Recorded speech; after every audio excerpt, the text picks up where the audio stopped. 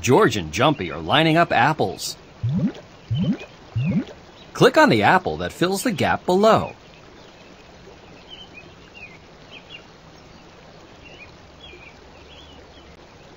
Sixteen. Nine. Great!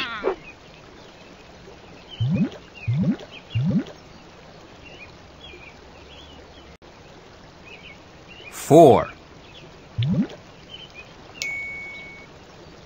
Yes, that's the missing number.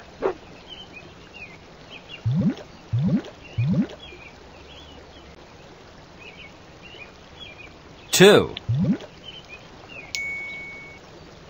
That's it.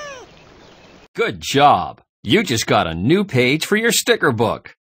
Click the green button to keep playing.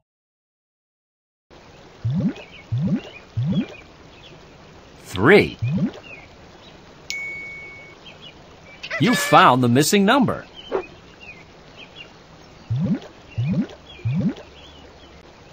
Five.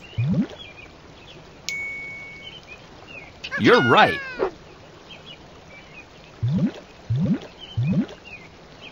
One. You picked the correct apple. Terrific! You're doing some great apple picking.